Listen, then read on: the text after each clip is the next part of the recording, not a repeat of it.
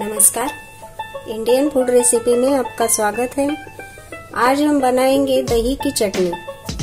तो दही की चटनी के लिए क्या क्या सामग्री लगती है देखते हैं। यहाँ पे हमने लिया है डेढ़ कप दही, पीसी हुई मूंगफली आधा कप, दो हरी मिर्च, दो तीन कड़ी पत्ता, तेल तड़के के लिए, हींग, हाफ़ टी स्पून राई और जीरा हाफ़ टी स्पून चीनी, दो टीस्पून हरा धनिया बारीक काट के लिया और स्वादानुसार नमक।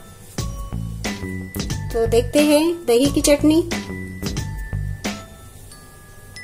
यहाँ पे हमने एक बाउल लिया है, इसमें दही निकाल लेते हैं और इसे अच्छी तरह से फेंट लेते हैं।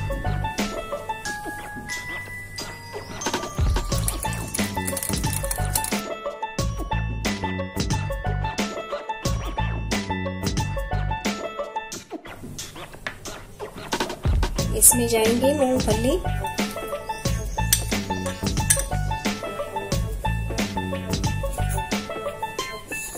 थोड़ी चीनी। हरा धनिया।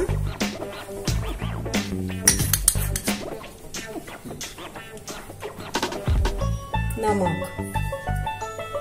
अच्छी तरह से मिक्स कर लेते।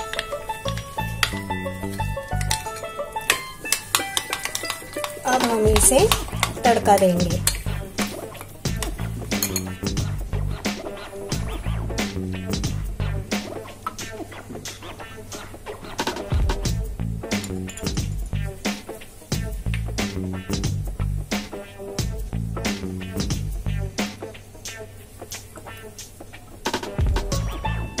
तेल अच्छी तरह से गर्म होने के बाद हम राई और जीरा डालेंगे। तेल अच्छी तरह से गर्म हो गया है, गैस बंद कर देते हैं।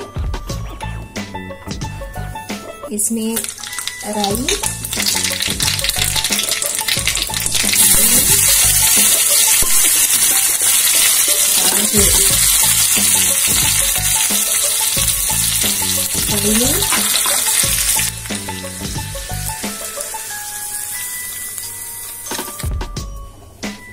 बन गई हमारी दही की चटनी।